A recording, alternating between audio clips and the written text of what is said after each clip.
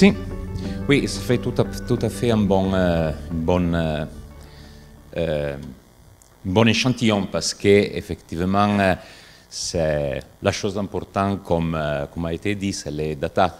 Et ici, je vais montrer une façon d'analyser un type spécifique des données qui est les textes. Alors, pour commencer, euh, qui nous sommes euh, Le nom de la société Home Semantic Solutions.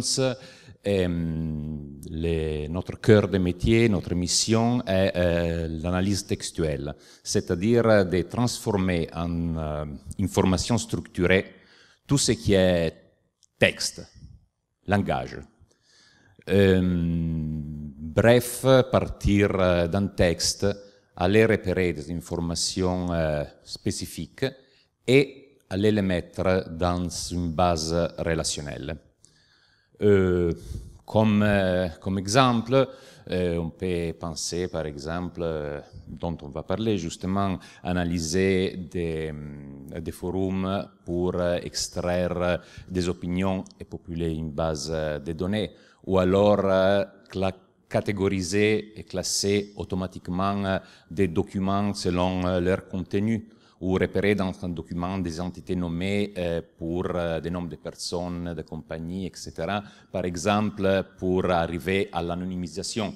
Euh, tout des tas d'applications où les éléments centraux est toujours les textes. Et tout ça dans plusieurs langues, euh, avec euh, une méthodologie, disons, cognitive, euh, au sens que il sait de faire en sorte que l'ordinateur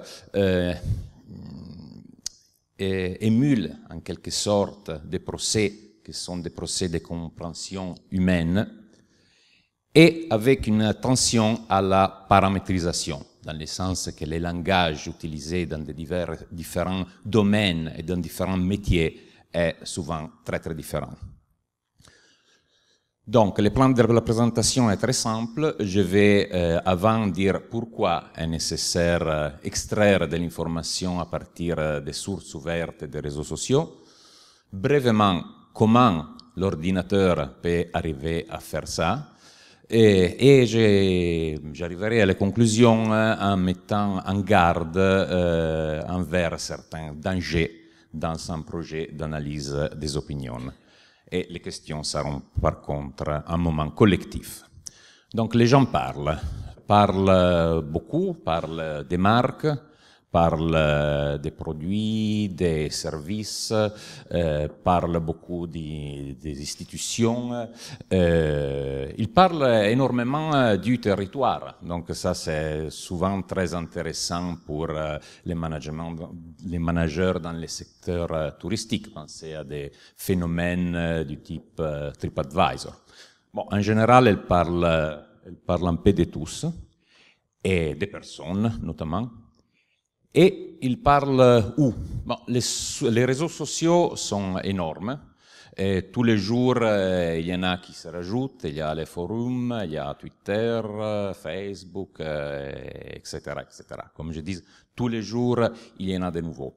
La chose cruciale, c'est que les réseaux sociaux, ça reste essentiellement du texte. Donc là, je vais montrer des données qui sont par leur nature déjà vieux parce qu'ils changent euh, tous les moments. Donc pensez à les quantités des- du type euh, plus de 50 millions euh, de tweets euh, par jour, les millions de messages sur Facebook. Si on se limite à la seule francophonie, il y a des forums du type Doctissimo qui ont plus de 400 millions de messages. Donc tout ça sont ces données énormes à partir duquel on peut extraire du sens et de l'information. Mais non seulement les euh, sites énormes sont importants. Au fait, plus le site est petit, plus le forum, par exemple, est confidentiel, plus euh, les internautes estiment qu'il est intéressant, parce que là, il y a de la connaissance, disons, entre guillemets, d'élite. Et tout ça, il faut arriver euh, à le faire dans plusieurs langues. Rien que LinkedIn est euh, disponible en plus de plus que 20 langages différents. Peut-on ignorer tout ça? Euh, bien sûr, si on est un producteur de presse hydraulique euh, dans les marchés B2B, la réponse est oui. Dans les autres cas, est plus questionnable si on peut vraiment ignorer cette masse de conversations qui a lieu. Sur Internet. Il faut, par contre, des technologies qui soient appropriées pour euh, euh, tirer du sens de cette quantité d'informations.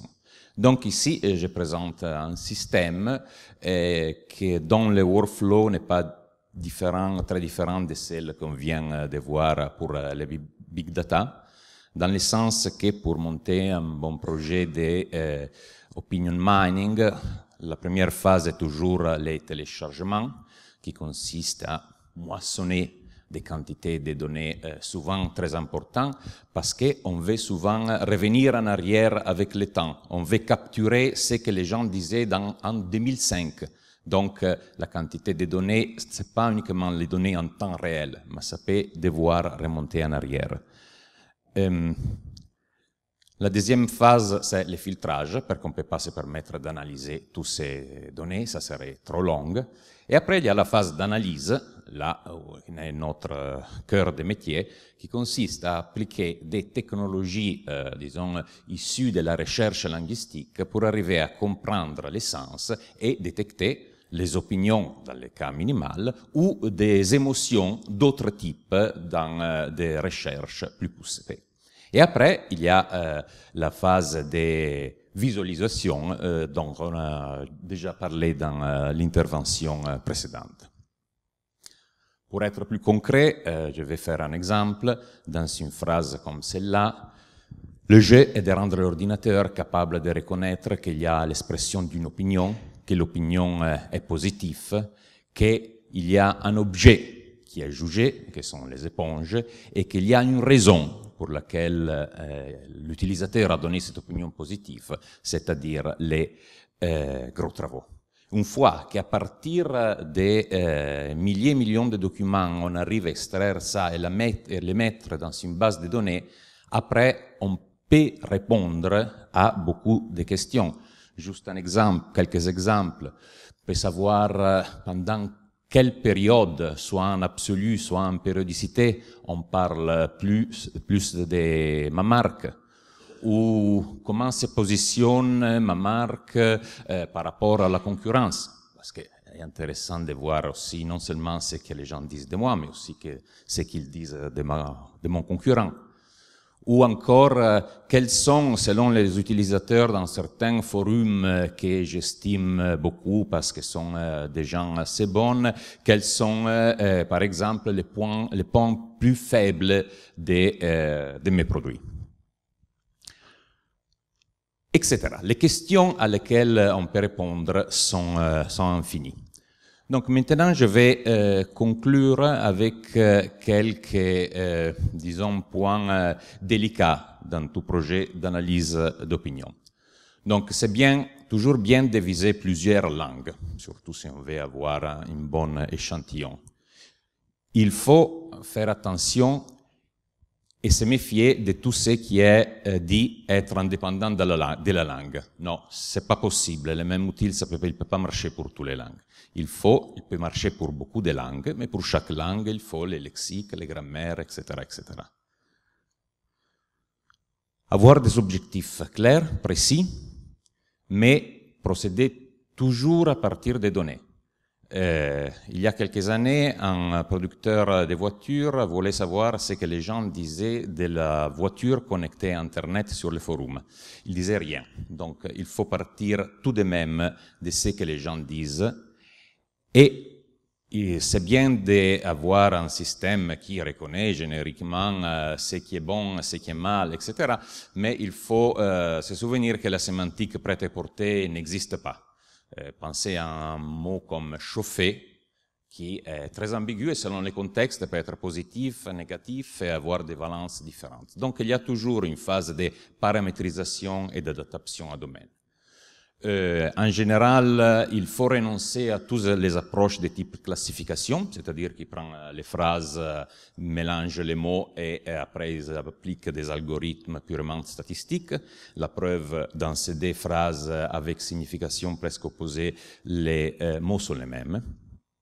Et aussi éviter de l'approche qui dit si un document est positif ou négatif. Non, il faut rentrer dans les documents et aller extraire tous les bouts d'informations positives et négatives. Parce que c'est rare qu'un message soit complètement positif ou complètement négatif. L'information est mélangée et ce mélange, capturer ce mélange, c'est en valeur ajoutée.